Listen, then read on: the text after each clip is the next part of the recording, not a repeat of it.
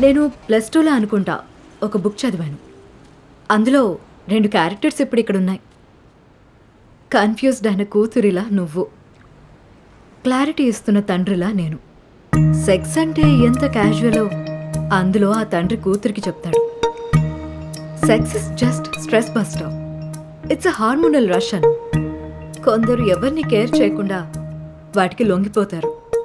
కొందరు బయట పడలేక లోపలే తృప్తి పడుతూ ఉంటారు.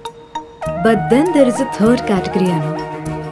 ఇది తప్పేమో అనుకుని సెక్స్ కావాలని ఉన్నా పొందలేక కోరికున్నా అణి చేసుకుని ఆ ప్రెషర్లో తెగ స్ట్రగుల్ అయిపోతూ ఉంటారు.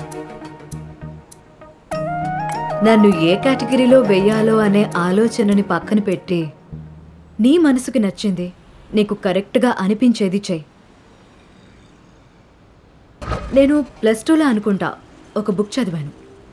అందులో రెండు క్యారెక్టర్స్ ఇప్పుడు ఇక్కడ ఉన్నాయి కన్ఫ్యూజ్డ్ అయిన కూతురిలా నువ్వు. క్లారిటీ ఇస్తున్న తండ్రిలా నేను. సెక్స్ అంటే ఎంత క్యాజువలో అందులో ఆ తండ్రి కూతురికి చెప్తాడు.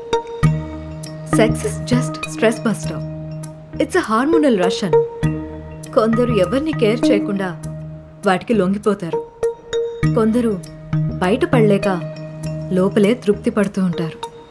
But then there is a third category అను ఇది తప్పేమో అనుకుని సెక్స్ కావాలని ఉన్నా పొందలేక కోరికున్నా అణి చేసుకుని ఆ ప్రెషర్లో తెగ స్ట్రగుల్ అయిపోతూ ఉంటారు.